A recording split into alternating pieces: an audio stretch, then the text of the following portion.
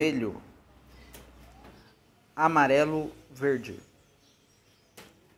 roxo, vermelho,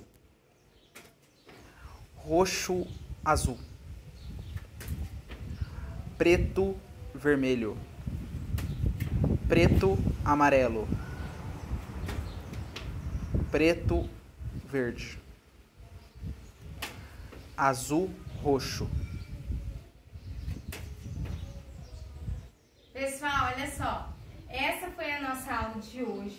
Fiz essa aula especialmente para vocês verem como que nós podemos brincar com as cores, tá? Opa! A cor roxa tá querendo ir embora comigo. Então, olha só. Essa foi a nossa aula, nossa brincadeira. E eu espero vocês fazendo aí com a família de vocês, tá bom? Beijos e até a próxima aula.